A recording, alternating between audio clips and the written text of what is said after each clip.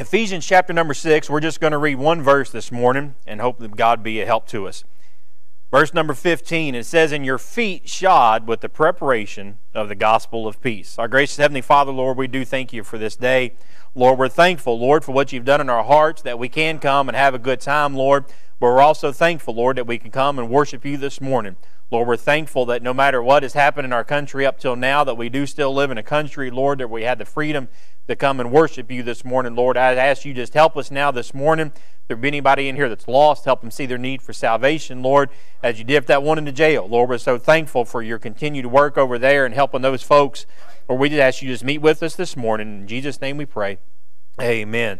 By way of introduction, the first thing I'm going to look at, and brother, uh, our pastor even talked about this a little bit on uh, Wednesday night in the in the verse that he read out of Philippians, is we see the person here in verse number 15, and it says, "In your feet."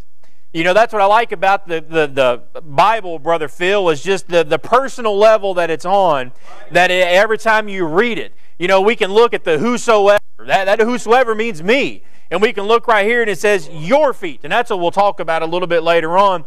But just the, the person, the personal of the Bible, how personal it is when you open up and read it, of it speaking directly to you. So not only do we see the personal uh, aspect of this verse, but we also see the placement.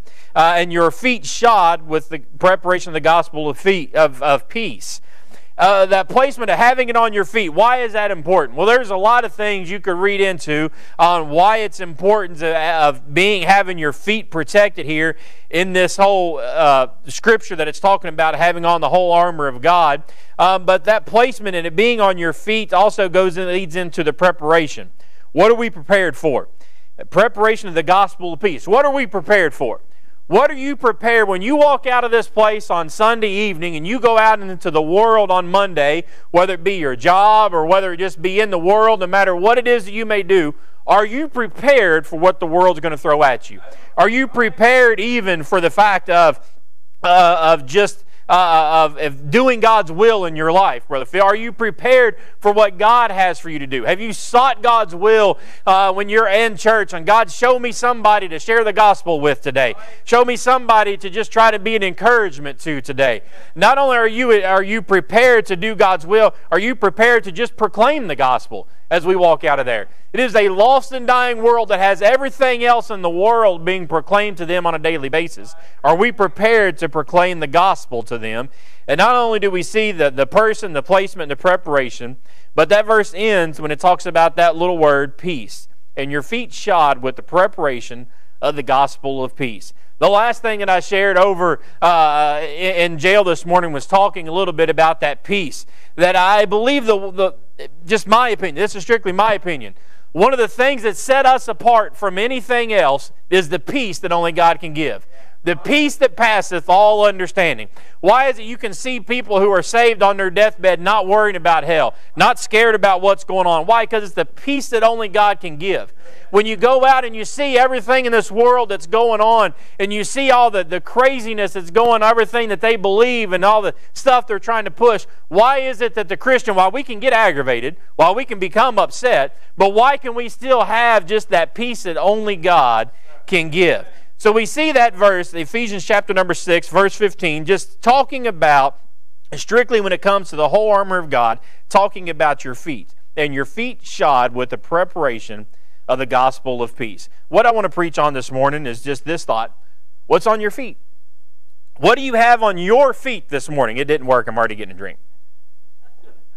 What do you have on your feet this morning?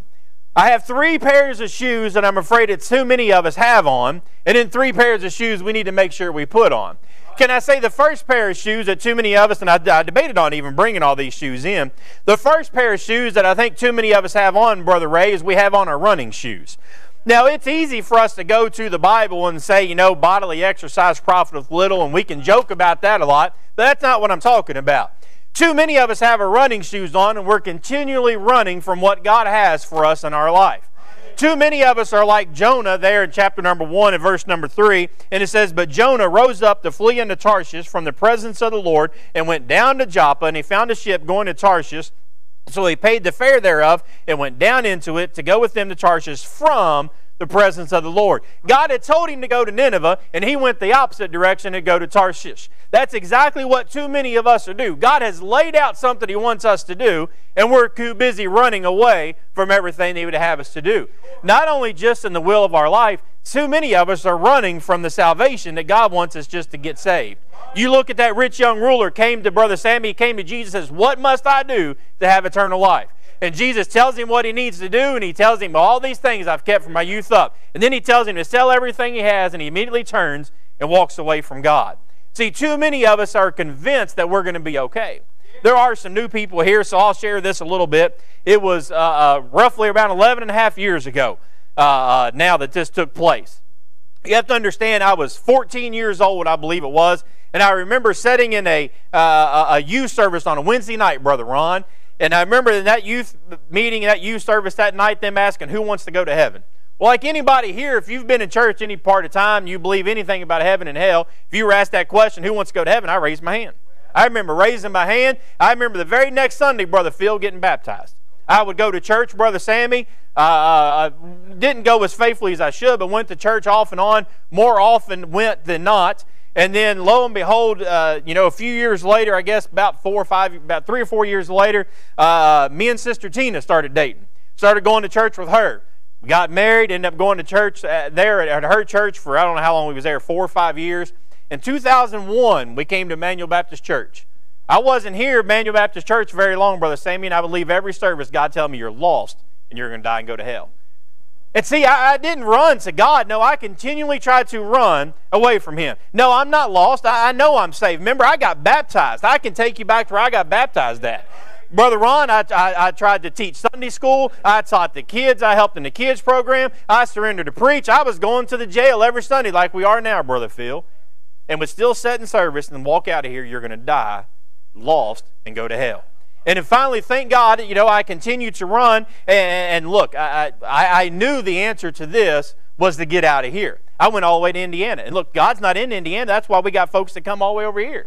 So I was convinced that God that, that I could get everything right by going to Indiana. Went over to Indiana, was going to help a preacher over there, start his kids program. Now I remember the very first Sunday that I was supposed to officially be over there. I remember that preacher saying, You can be a great person this side of eternity, and you can be a great person that side of eternity. But if you've not saved, you've not accepted Jesus Christ in your heart, you'll spend eternity as a great person and still spend it in hell.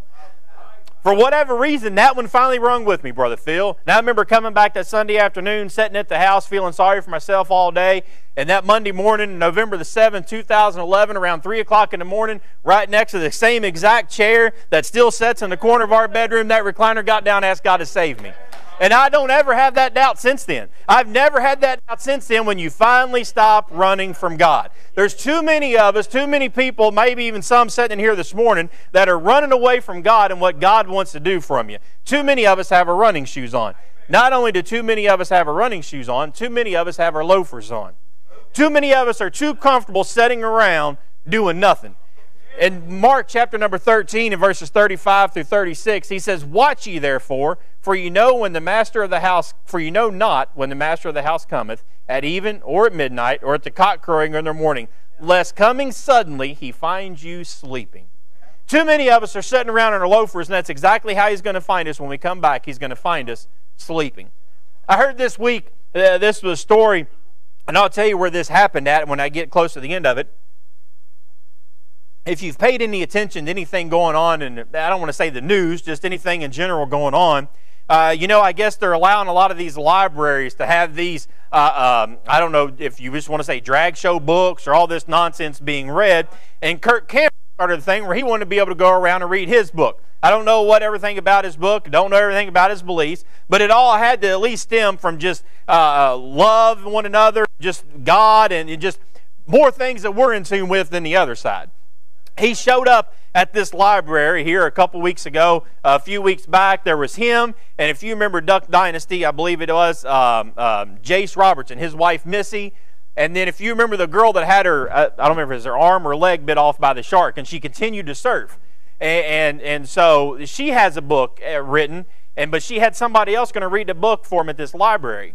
And so they, they booked this library to come, and they was all ready to go. And they said the person at the library, whoever runs that library, called and said, I don't know who you all are, Brother Clint, said, but this is great, man. We've had never had such a turnout of all the people said they were going to come.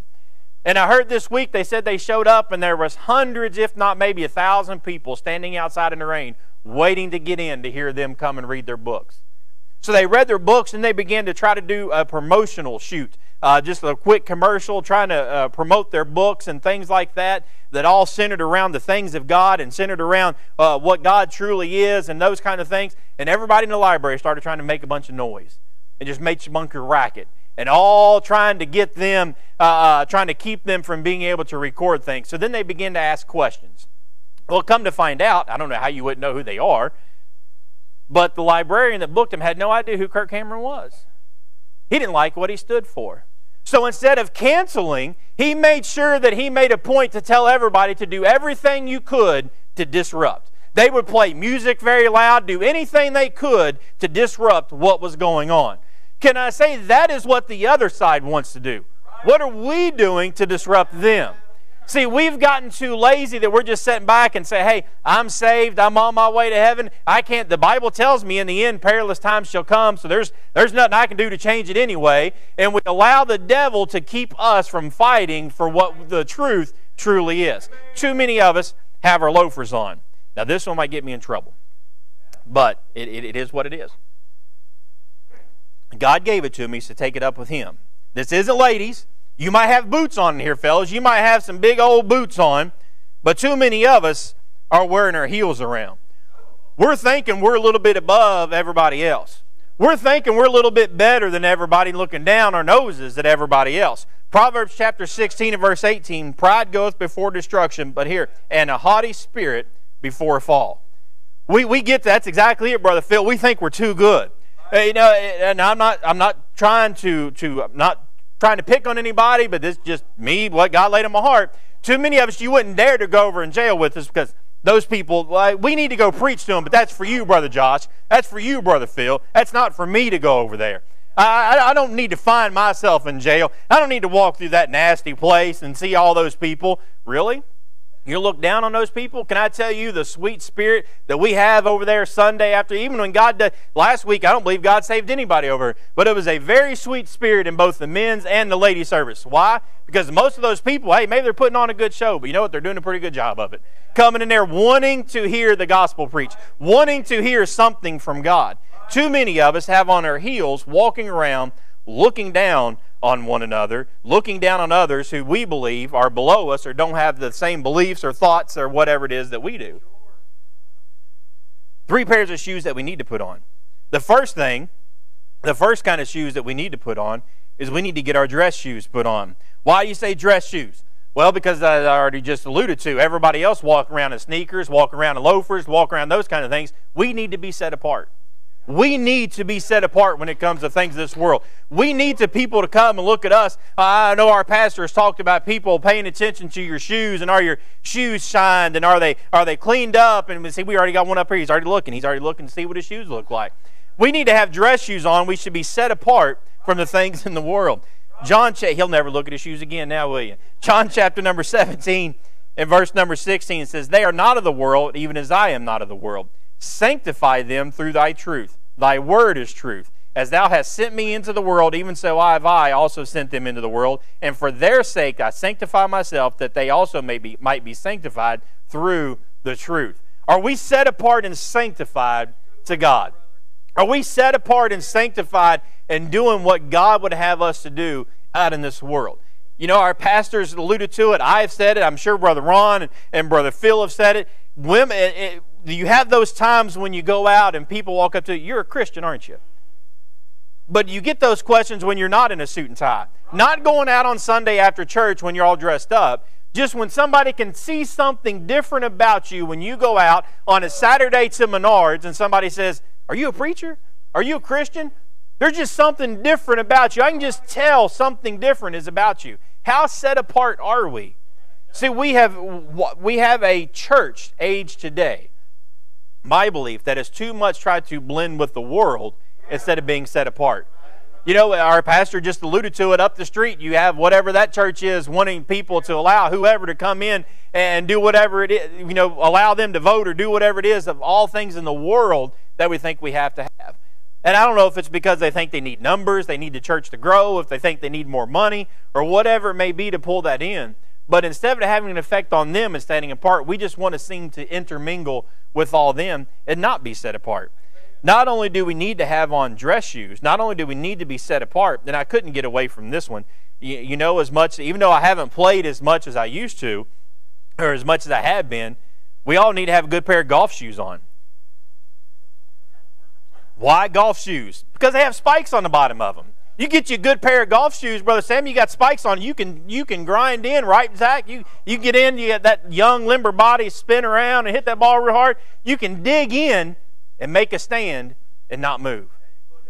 See, too many times a week we like those running shoes and we like those loafers because, and we just slide right on back. Somebody pushes against us. See, we don't have anything willing to make a stand and stand against anything of the world. Jeremiah tells us in chapter 6 and verse 16, says, Thus saith the Lord, Stand ye in, thy, in the ways, and see, and ask for the old path, whereas the good way, and walk therein, and ye shall find the rest for your souls. But they said, We will not walk therein.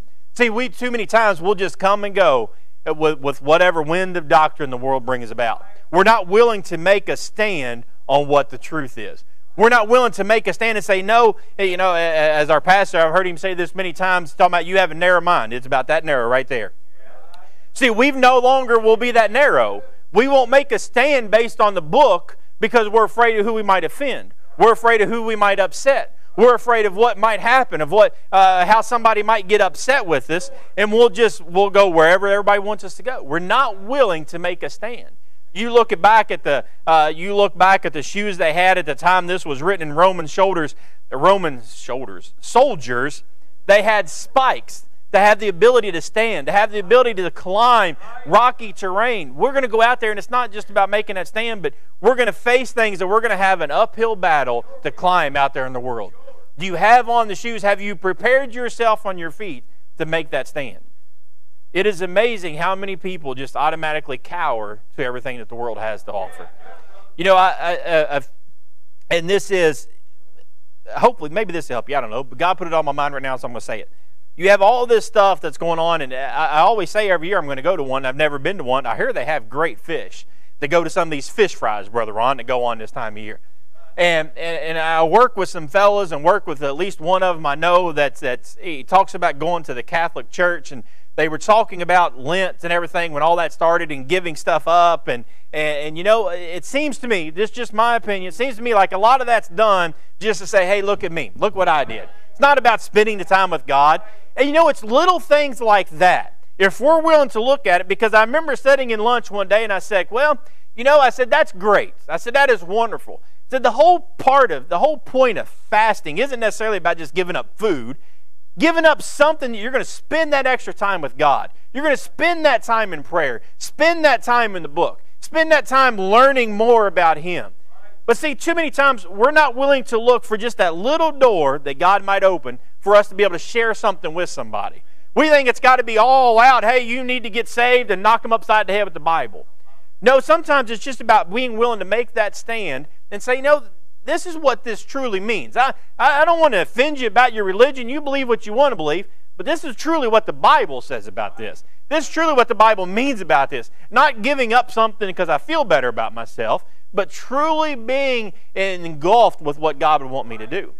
We need some shoes that got some good spikes on us, willing to make a stand.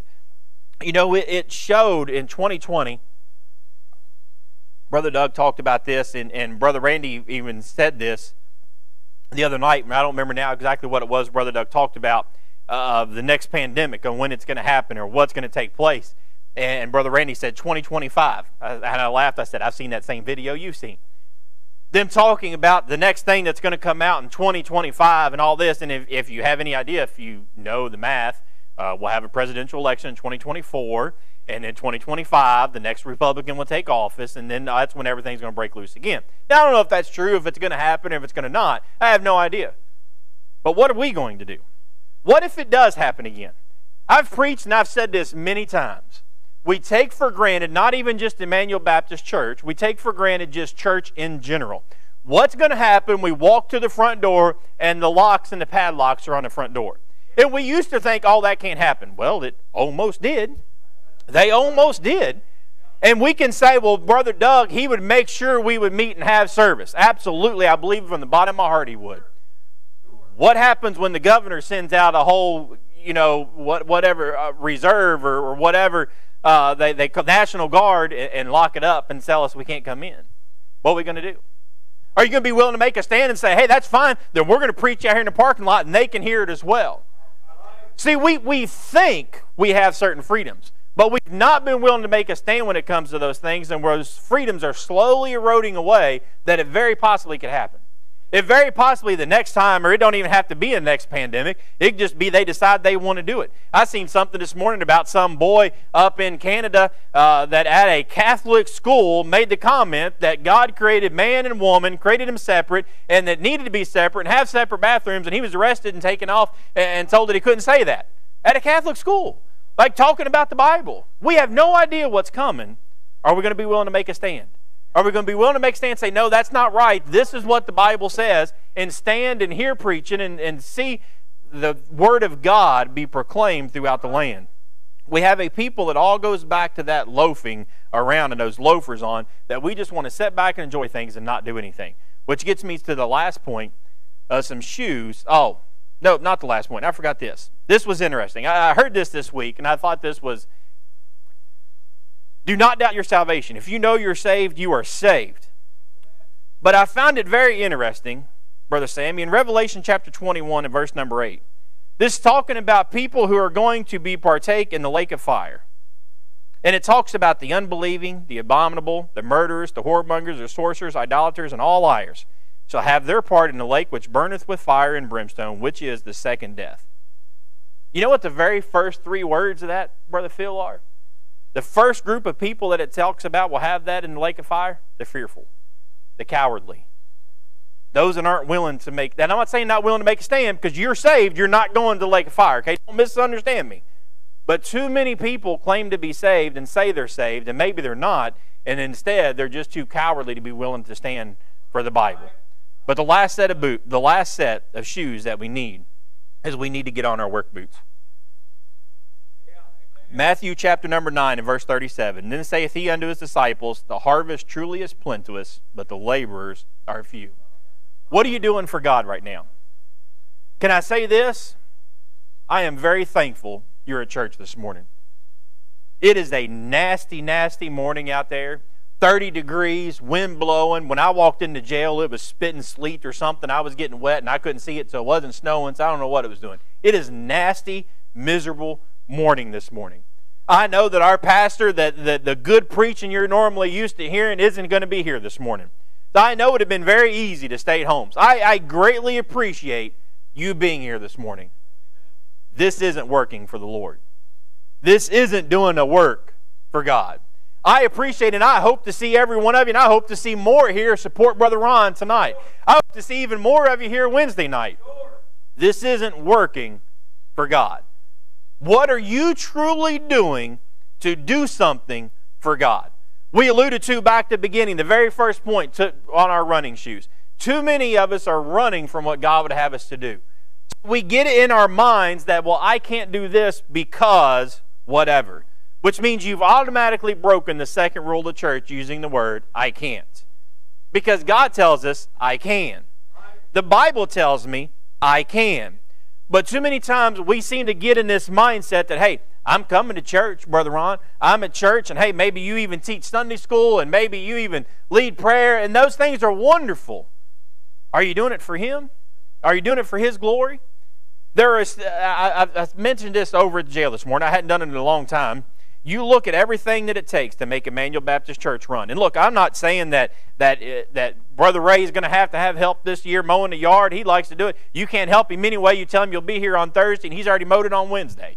You know, Brother Randy can uh, can attest to that. You know, he might not let you help him. But there's a lot of things around the church that could be done. Our pastor has often said he's a, he's in favor of everything. He just can't do everything. We have mentioned for the last two or three years, we have a, a I am so thankful for the group that we have that go out on Monday morning or uh, on Monday afternoons. It is a blessing to see 20, 30, 35 people show up to go out on visitation. All the kids that show up and go out on visitation. And you say, Well, I can't go Monday night. We've said it many times. Tell me what night you can go. I have a whole binder back there that I have probably, I don't know, 50 some or 30 some weeks wrote out on. I have a bunch of note cards. You want to tell me, say, hey, Brother Josh, we're going to go out on, we can't come Monday, but we'll come on Thursday. Okay, here you go. Here's who can drive the bus, or here's where you can go together, and here's note cards say exactly where to go. Here's exactly where we need you to go. But see, we, we just make our excuse, well, they go on Monday nights and I can't go. I'd be the only one to go. You don't know that. There might be some that go on Monday nights that would be more than happy to go with you and go a second time. Or maybe just that's the, might be a day that works best for them. What are you truly doing for the Lord? Not coming, it amazes me the amount of people that think that, hey, we're, we're coming to church and we're doing this, so we're good. That's not why God saved us. God did not save us to sit on a church pew. God did not save us to sit in a church pew and go through life and say, hey, well, I told my family, I told my mom, my dad, my brother, my sister, whatever it may be, I try to be a witness to them. That should be enough. Is it?